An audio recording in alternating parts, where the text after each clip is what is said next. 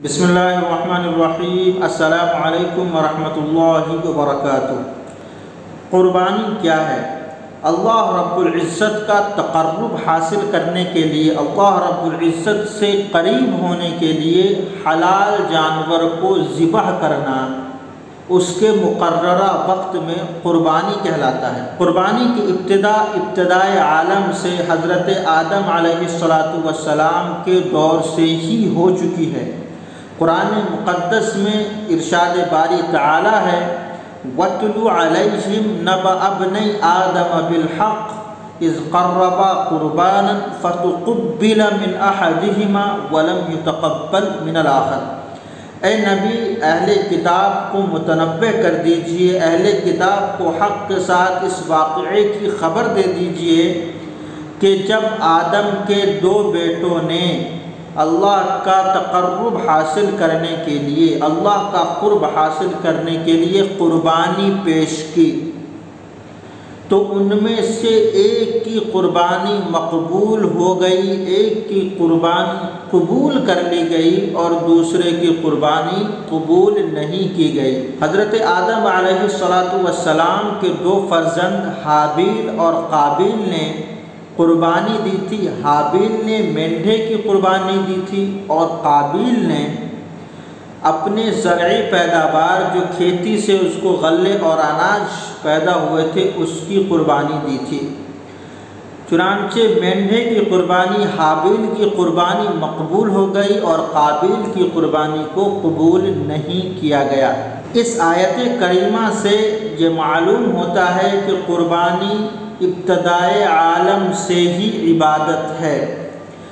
पहले ज़माने में जब अम्बिया कराम सलाम अपनी नबूवत का दावा किया करते थे, वहाँ के लोग उस वक्त तक नबी नहीं मानते थे जब तक उनकी कुर्बानी को मकबूल होता हुआ न देख ले। जब तक ये न पता कर ले कि इनकी कुर्बानी मकबूल होती है या नहीं। उस दौर में कुर्बानी मकबूल कैसे होती थी, उसका तरीक़ा ये था, आज हम ज़िबा करते हैं, उस वक्त इस तरीक़े का वजूद नहीं था, बल्कि वो पहाड़ी पर जाकर, किसी ऊँची जगह पर जाकर उस चीज़ को रख दिया करते थे। आसमान से एक बिजली आती थी और उसको जला दिया करती थी, उसको ख़त्म कर दिया करती थी। तो ये क़ुरबानी के मकबूल होने की दलील थी। क़ुरबानी इस माना करके भी बहुत अहमियत के हामिल है कि सिर्फ़ मज़हब इस्लाम में ही नहीं, बल्कि दुनिया के अंदर जितने भी मज़ाहब हैं, हर मज़हब की दीनी बुक्स में, हर मज़हब की दीनी किताबों में, उनके रसायल में कुर्बानी का वजूद है।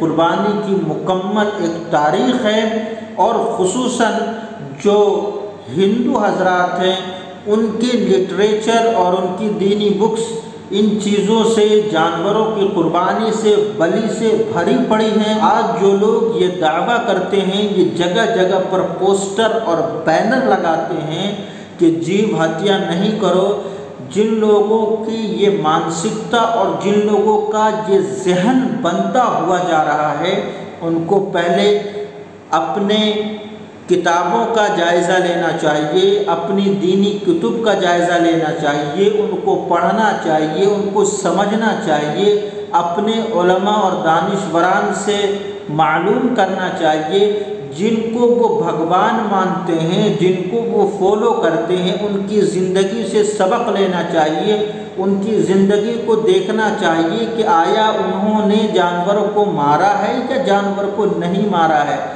जब इन चीज़ों को वो देखेंगे, समझेंगे, परखेंगे और पढ़ेंगे तो इन अज़ीज़ वो इस्लाम के ख़िलाफ़ आवाज़ उठाने से पहले खुद शर्मिंदा हो जाएँगे। इस तरीके से जो बैनर लगाए जाते हैं, ये सरासर एक प्रोपैगंडा है।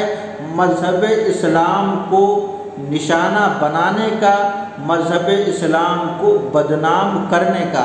हालाँकि उनके मज़ाहिब में भी कुर्बानी का वजूद है। और दूसरी सबसे बड़ी बात यह है कि हर शख्स ये जानता है कि अल्लाह रब्बुल इज़्ज़त ने दुनिया के अंदर जितनी भी चीज़ें बनाई हैं, वो सब की सब इंसान के फ़ायदे के लिए, इंसान के मनफ़ात के लिए बनाई है। इंसान अपनी ज़रूरत के मुताबिक उनको अपनी ज़रूरत में ले सकता है। और कुर्बानी चूँकि अल्लाह रब्ज़त का हुक्म है, कुर्बानी चूँकि अल्लाह रब्ज़त को पसंद है, लिहाजा जिसने उस बकरे को और उस जानवर को बनाया है, जो उसका खालिक है, जो उसका परवरदिगार है, उसका हुक्म है कि इनको ज़िबा किया जाए, इनको कुर्बान किया जाए तो भला जिसने बनाया है, जो खालिक है, वो ख़ुद इजाज़त दे रहा है तो इसके अंदर जुल्म और क्रूरता कहाँ से आ गई? ये ज़रा सोचने और समझने की बात है। जीव हत्या का जहाँ तक मसला है तो पेड़ पौधों में घास फूस के अंदर भी जान होती है। उसे भी तो खाते हैं ना, उसे भी तो अपने मशरफ़ में लेते हैं आप। लेकिन मज़हब इस्लाम में जो क़ुरबानी का तरीक़ा राइज है, जो ज़िबह करने का तरीक़ा राइज है, ये हज़रत इब्राहीम वसलाम की मोहब्बत अल्लाह रब्ज़त से उनका तकर्रब और हज़रत इस्माईल वसलाम की इताअत और फर्मा बरदारी का जीता जागता सबूत और मज़हर है।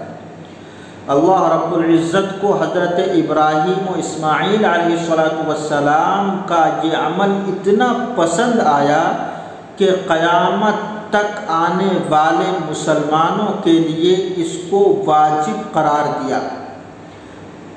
अल्लाह के नबी सल्लल्लाहु अलैहि वसल्लम का इरशाद है कि क़ुरबानी के दिन जानवर ज़िबा करने से ज़्यादा नेक काम हो ही नहीं सकता, ज़्यादा नेक काम कोई भी नहीं है। दूसरी जगह पर अल्लाह के नबी सल्लल्लाहु अलैहि वसल्लम ने इरशाद फरमाया कि क़ुरबानी के जानवर के हर बाल के बदले अल्लाह रब्बुल इज़्ज़त एक नेकी अता करता है। जिस तरीक़े से कुर्बानी के जानवर के बाल हम गिन नहीं सकते, इसी तरीक़े से अल्लाह रब्बुल इज़्ज़त बेपनाह अजर और बेपनाह सवाब हमें अता करता है कुर्बानी करने के इवज़ में। लिहाजा हर मुसलमान साहिब निसाब को चाहिए कि वो कुर्बानी करे। अज़ीज़, आने वाली क्लिप्स के अंदर आपको कुर्बानी के मसाइल बताए जाएँगे। इस चैनल को ज़रूर सब्सक्राइब कर लीजिए और बेल के आइकन को ज़रूर प्रेस कर लीजिए ताकि आने वाली हर मुफीद मालूमती वीडियोज़ आप तक सबसे पहले पहुँचती रहे। और इस क्लिप को ज़्यादा से ज़्यादा लोगों तक पहुँचाएँ, इसको शेयर करें। मुझे अपनी खसूस दुआओं में याद रखें। वालकम वरहमल वर्का